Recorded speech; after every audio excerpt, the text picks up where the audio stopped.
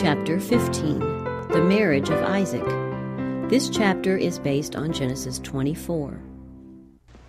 Abraham had become an old man and expected soon to die. Yet one act remained for him to do in securing the fulfillment of the promise to his posterity.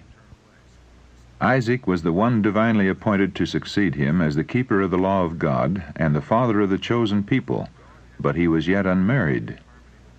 The inhabitants of Canaan were given to idolatry, and God had forbidden intermarriage between his people and them, knowing that such marriages would lead to apostasy. The patriarch feared the effect of the corrupting influences surrounding his son. Abraham's habitual faith in God and submission to his will were reflected in the character of Isaac. But the young man's affections were strong, and he was gentle and yielding in disposition. If united with one who did not fear God, he would be in danger of sacrificing principle for the sake of harmony. In the mind of Abraham, the choice of a wife for his son was a matter of grave importance. He was anxious to have him marry one who would not lead him from God. In ancient times, marriage engagements were generally made by the parents, and this was a custom among those who worshipped God. None were required to marry those whom they could not love, but in the bestowal of their affections, the youth were guided by the judgment of their experienced, God fearing parents. It was regarded as a dishonor to parents, and even a crime, to pursue a course contrary to this. Isaac, trusting to his father's wisdom and affection, was satisfied to commit the matter to him, believing also that God himself would direct in the choice made. The patriarch's thoughts turned to his father's kindred in the land of Mesopotamia. Though not free from idolatry, they cherished the knowledge and the worship of the true God. Isaac must not leave Canaan to go to them, but it might be that among them could be found one who would leave her home and unite with him in maintaining the pure worship of the living God. Abraham committed the important matter to his eldest servant, a man of piety, experience, and sound judgment, who had rendered him long and faithful service. He required this servant to make a solemn oath before the Lord that he would not take a wife for Isaac of the Canaanites, but would choose a maiden from the family of Nahor in Mesopotamia he charged him not to take Isaac thither. If a damsel could not be found who would leave her kindred, then the messenger would be released from his oath. The patriarch encouraged him in his difficult and delicate undertaking with the assurance that God would crown his mission with success. The Lord God of heaven, he said, which took me from my father's house, and from the land of my kindred, he shall send his angel before thee the messenger set out without delay, taking with him ten camels for the use of his own company and the bridal party that might return with him, provided also with gifts for the intended wife and her friends, he made the long journey beyond Damascus and onward to the rich plains that border on the great river of the east. Arrived at Haran, the city of Nahor, he halted outside the walls near the well to which the women of the place came at evening for water. It was a time of anxious thought with him. Important results, not only to his master's household, but to future generations, might follow from the choice he made. And how was he to choose wisely among entire strangers? Remembering the words of Abraham that God would send his angel with him, he prayed earnestly for positive guidance. In the family of his master he was accustomed to the constant exercise of kindness and hospitality, and he now asked that an act of courtesy might indicate the maiden whom God had chosen. Hardly was the prayer uttered before the answer was given. Among the women who were gathered at the well, the courteous manners of one attracted his attention. As she came from the well, the stranger went to meet her, asking for some water from the pitcher upon her shoulder. The request received a kindly answer, with an offer to draw water for the camels also, a service which it was customary even for the daughters of princes to perform for their fathers' flocks and herds. Thus the desired sign was given. The maiden was very fair to look upon, and her ready courtesy gave evidence of a kind heart and an active, energetic nature. Thus far the divine hand had been with him. After acknowledging her kindness by rich gifts, the messenger asked her parentage, and on learning that she was the daughter of Bethuel, Abraham's nephew, he bowed down his head and worshipped the Lord. The man had asked for entertainment at her father's house, and in his expressions of thanksgiving had revealed the fact of his connection with Abraham. Returning home, the maiden told what had happened, and Laban, her brother, at once hastened to bring the stranger and his attendants to share their hospitality. Eliezer would not partake of food until he had told his errand, his prayer at the well, with all the circumstances attending it. Then he said, And now, if ye will deal kindly and truly with my master, tell me, and if not, tell me, that I may turn to the right hand or to the left. The answer was, The thing proceedeth from the Lord. We cannot speak unto thee bad or good. Behold, Rebekah is before thee. Take her and go, and let her be thy master's son's wife, as the Lord has spoken. After the consent of the family had been obtained, Rebekah herself was consulted as to whether she would go to so great a distance from her father's house to marry the son of Abraham. She believed, from what had taken place, that God had selected her to be Isaac's wife, and she said, I will go. The servant, anticipating his master's joy at the success of his mission, was impatient to be gone, and with the morning they set out on the homeward journey. Abraham dwelt at Beersheba, and Isaac, who had been attending to the flocks in the adjoining country, had returned to his father's tent to await the arrival of the messenger from Haran. And Isaac went out to meditate in the field at the eventide. And he lifted up his eyes and saw, and, behold, the camels were coming. And Rebekah lifted up her eyes, and when she saw Isaac, she lighted off the camel. For she had said unto the servant, What man is that that walketh in the field to meet us. And the servant had said, It is my master. Therefore she took a veil and covered herself.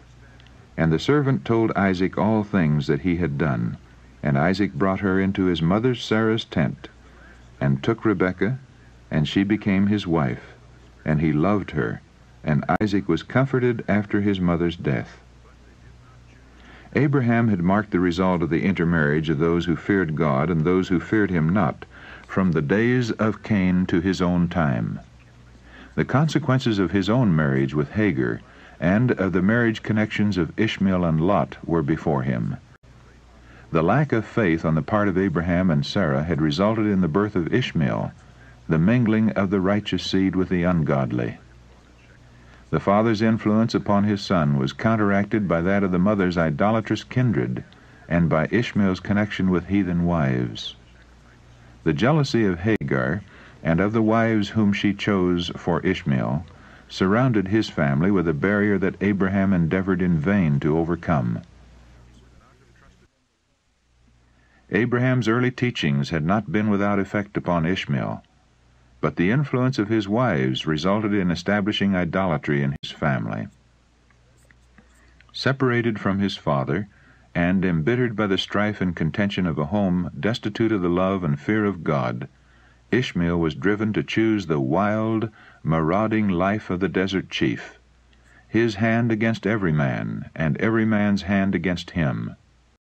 Genesis chapter 16, verse 12.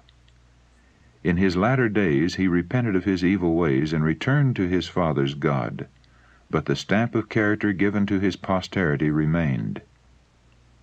The powerful nation descended from him were a turbulent heathen people who were ever an annoyance and affliction to the descendants of Isaac. The wife of Lot was a selfish, irreligious woman, and her influence was exerted to separate her husband from Abraham. But for her, Lot would not have remained in Sodom, deprived of the counsel of the wise, God fearing patriarch.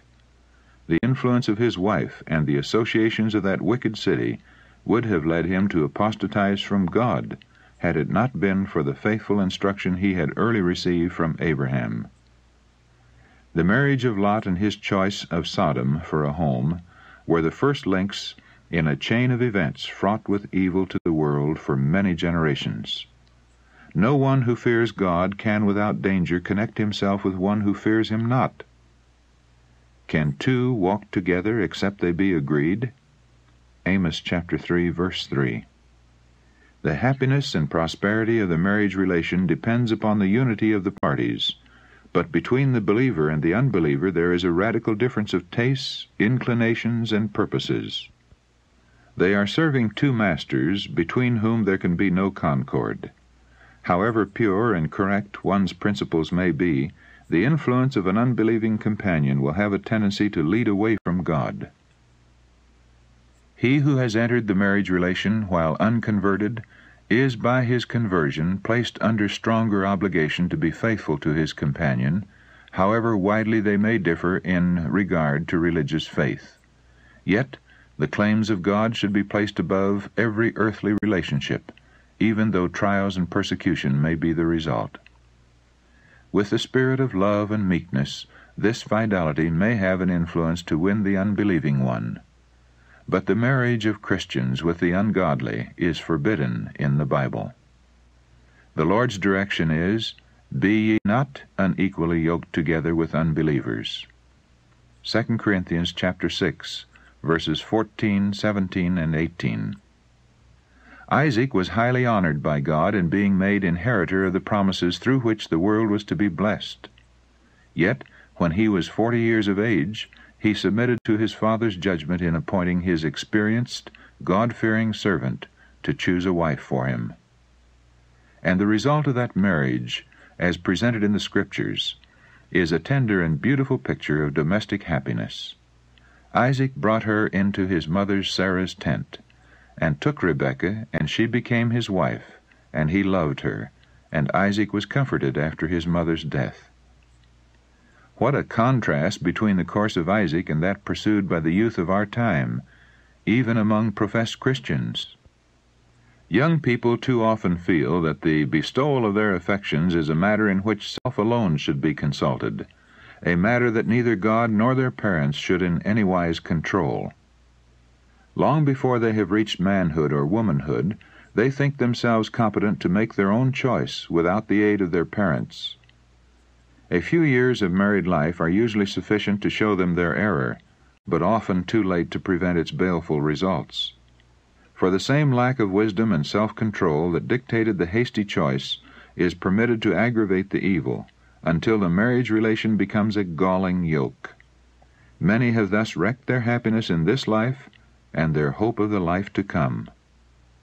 If there is any subject which should be carefully considered, and in which the counsel of older and more experienced persons should be sought, it is the subject of marriage. If ever the Bible was needed as a counselor, if ever divine guidance should be sought in prayer, it is before taking a step that binds persons together for life.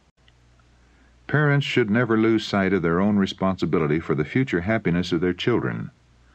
Isaac's deference to his father's judgment was the result of the training that had taught him to love a life of obedience.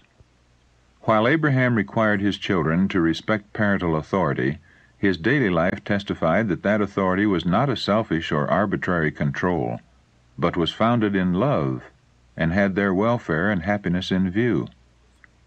Fathers and mothers should feel that a duty devolves upon them to guide the affections of the youth, that they may be placed upon those who will be suitable companions.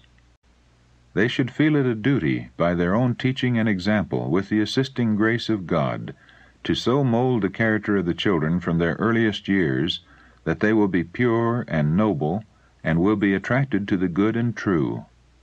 Like attracts like, like appreciates like. Let the love for truth and purity and goodness be early implanted in the soul, and the youth will seek the society of those who possess these characteristics. Let parents seek, in their own character and in their home life, to exemplify the love and beneficence of the Heavenly Father. Let the home be full of sunshine. This will be worth far more to your children than lands or money. Let the home love be kept alive in their hearts, that they may look back upon the home of their childhood as a place of peace and happiness next to heaven. The members of the family do not all have the same stamp of character and there will be frequent occasion for the exercise of patience and forbearance. But through love and self discipline, all may be bound together in the closest union. True love is a high and holy principle, altogether different in character from that love which is awakened by impulse and which suddenly dies when severely tested. It is by faithfulness to duty in the parental home that the youth are to prepare themselves for homes of their own. Let them here practice self denial and manifest kindness, courtesy, and Christian sympathy. Thus, love will be kept warm in the heart, and he who goes out from such a household to stand at the head of a family of his own will know how to promote the happiness of her whom he has chosen as a companion for life. Marriage, instead of being the end of love, will be only its beginning.